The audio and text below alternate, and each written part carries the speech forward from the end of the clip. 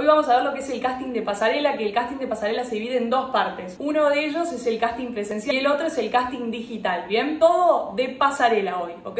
El casting de manera presencial de pasarela sería de la siguiente manera. Te citarían en un lugar, vos irías con tu book de fotos ya sea impreso o digital en una tablet, lo suelen hacer muchísimo, y te van a pedir que desfiles o en bikini o con un look que se te vea bien el cuerpo, es decir, una musculosa, un vestidito corto. Siempre que hagas casting te recomiendo que utilices ropa lisa.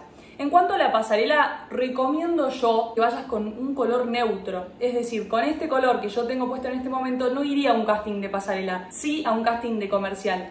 Ya vas a ir sabiendo de a poco cómo tenés que presentarte y qué ponerte para los castings. Obviamente uno puede hacer lo que quiere, pero yo recomiendo que te vayas con un look negro, una musculosa negra, un vestidito negro, con un jean color jean o un jean color negro también con un shortcito color jean o un shortcito color negro, así. Siempre que se te vea bien el cuerpo, cómo manejas las piernas, cómo te moves, cómo se ven tus hombros. Esto si llegás y es presencial, claramente. Eh, si no, en caso de ser un casting digital, vas a tener que presentar algunas cosas más. Pero espera ahí que ya vamos poquito a poco. Entonces, en el casting presencial suele haber o el diseñador o el diseñador y su equipo de trabajo que te hacen poner los tacos, la bikini y vos tenés que desfilar. Con todo lo que venimos aprendiendo de desfile, deberíamos saber que dependiendo qué diseñador es, es la caminata que yo debo hacer ese día, ¿bien? Si es un diseñador más bien en un estilo europeo, pues esa caminata debería ser. Si es un casting para Victoria's Secret, por ejemplo, Claramente deberíamos mostrar nuestro carisma, nuestra energía, nuestra alegría, nuestra espontaneidad, nuestra caradurez. En cambio, en un casting europeo lo más importante es la fuerza en la caminata, los pasos firmes, mirar a un punto fijo, la velocidad que venimos trabajando. ¿sí? Todo esto tenés que acordártelo previamente a realizar el casting. Acá sí te quiero decir algo que es muy importante. Todo lo que sea casting presencial siempre te van a estar mirando. No es solamente en el momento que vos te pones a desfilar o te pones a actuar te están viendo previamente cómo es tu esencia, cuál es tu espontaneidad, tu frescura, cuál es tu forma de hablar naturalmente, ¿ok?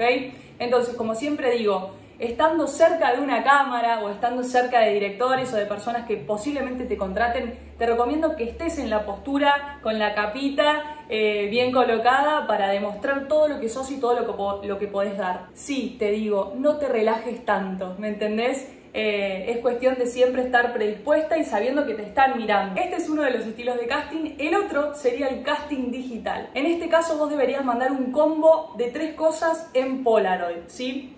El desfile Polaroid, el video Polaroid y también la foto Polaroid. Vamos a aprender a hacer todo acá, así que no se preocupen. En este caso vamos a aprender a hacer el desfile Polaroid, ¿bien? La idea de esto es que estés con tu bikini negra, siempre recomiendo bikini negra, que sea lisa, que no tenga mucha estampa, que te quede bien, si puede ser triangulito es mejor eh, la bikini en triangulito y si no, algo que no tenga mucha, eh, que no tenga mucho volumen, sino que se te vea lo más natural que sea tu cuerpo, ¿bien? Entonces te vas a poner la bikini, tus tacos que te queden cómodos, y vas a colocar la cámara de la siguiente manera. Es muy importante que tengas buena luz, un fondo blanco, un fondo neutro, lo más prolijo que se vea. Si tenés cuadros, sacalos. Si se ve algo de más que no sea lo neutro del fondo, sacalo. Es muy importante que seas muy prolijo o muy prolija en este caso, ¿sí? Entonces tenés buena luz, un fondo neutro y ahora te toca lo que es la caminata. Cuando mandes estos videos que no sean hablados, yo siempre recomiendo que le saquen el sonido, que no se escuche nada del sonido. Con alguna aplicación de edición de video lo puedes hacer en tu teléfono así que no es muy grave. Lo recomiendo siempre que saquen el sonido para que quede más prolijo y más profesional. Es muy importante que la cámara esté a la altura de tus ojos y que se te vea todo el cuerpo, ¿bien? Quizás te lo pidan de manera horizontal, es decir, con el teléfono así. Si no, te lo pueden pedir de manera vertical, que sería el teléfono así, ¿bien? Es muy importante que sepas de qué manera te lo están pidiendo. Pero sobre todo lo importante es que se te vea todo el cuerpo, ¿bien? Que se te vea cuando caminas, cómo se te mueve el cuerpo, tu elegancia, tu espontaneidad, tu frescura, que se te vea bien la piel, que se te vea bien la cara. ¿Qué pasa? En todo lo que sean castings, siempre o la mayoría de las veces, a no ser que te pidan lo contrario, tenés que ir con un maquillaje natural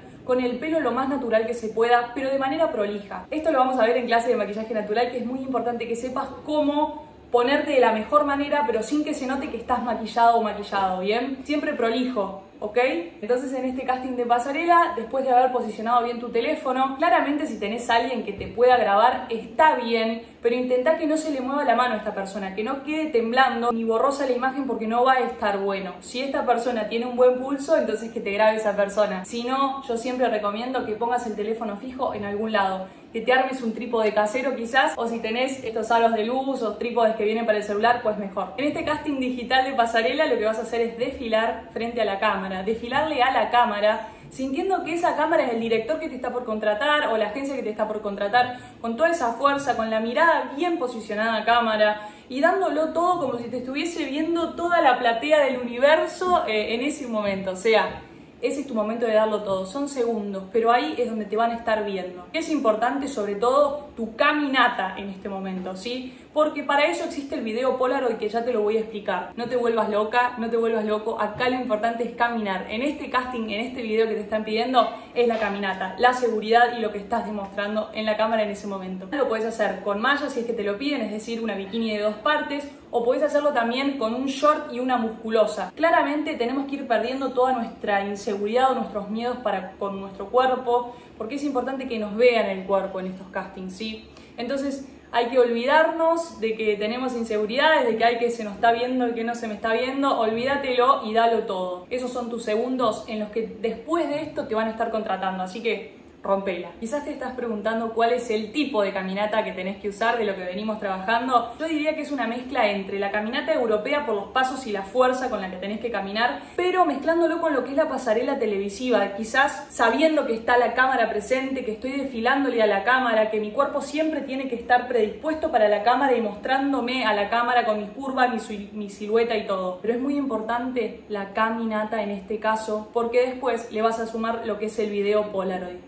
también lo que son las fotos Polaroid. O sea que verte posar en verdad ya te están viendo posar con el foto y video Polaroid. Acá lo que tienen que ver es tu caminata, ¿ok? Gracias por estar del otro lado, les mando un beso gigante y a darlo todo.